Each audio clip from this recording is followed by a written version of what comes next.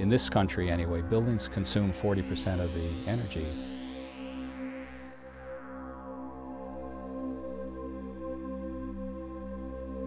And uh, again, I see that as a pretty significant number as opposed to 5 or 10%. Anything that we can do as professionals to cut that will, will help us down the road towards uh, energy independence.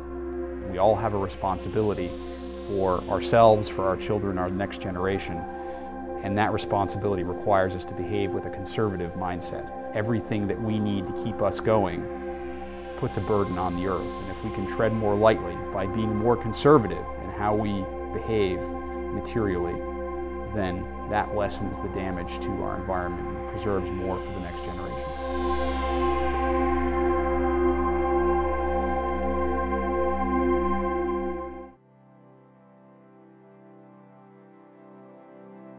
Structure can breathe, it can operate for as long as the bird maintains it, but like everything, one day it's not going to be a nest anymore.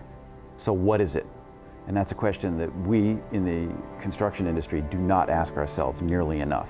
In the case of the weaver bird, turns back into dirt. It, it becomes um, soil that is a nutrient for the next tree or cactus or whatever it may be. And that's what Mother Nature is so good at. It's closing that loop, right? From sourcing to manufacture to use to reuse, as however many times it can, back into a nutrient. So I think that's terrific. If we could build buildings that when they're done being whatever it is that they are, then they can be something else.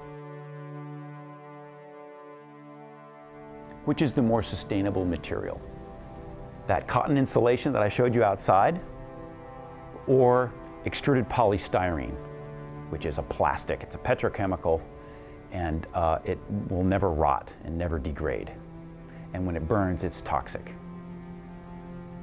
Cotton is, is, yes, there's a fiber, cotton fiber, but in between those cotton fibers, there's a lot of air.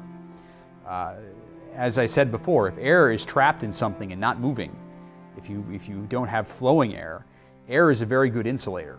So it, it has, air by itself has high thermal resistivity. It resists the flow of thermal energy better than uh, something like metal, which would have very low thermal resistivity, high thermal conductivity.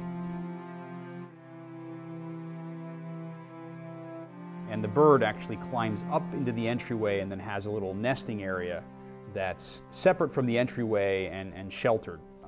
Certainly that entryway has an effect on, on the way you keep or lose your thermal energy in a nest. Well, the sphere is, is the most um, efficient shape in terms of um, energy use. Use of a sphere would minimize surface area, and the less surface area means the less heat transfer, the less energy usage. So this, the weaver bird, at least in terms of keeping itself warm, is using that trick of, of having the entryway beneath the habitation space, kind of like putting a foyer in a building that separates the habitation space from the entryway space where you can lose thermal energy by air mass transfer, air transfer into the building or out of the building.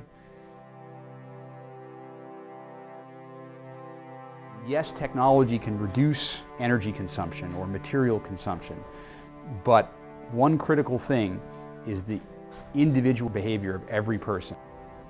You don't have to become a builder or an architect or uh, a filmmaker, whatever it is you do, you can make a difference and you can say, no, this is going to be my world. I want to have a world worth inheriting, so I'm going to demand clean energy. I'm going to ride my bicycle. I'm going to eat fruits and vegetables, you know. I'm going to take good care of, of what's around me and avoid plastics, recycle, you know, just the basic stuff's all the way up. Eh, because it's, yeah, I mean, it's your planet. It's going to be yours eventually, and you've got to take good care of it.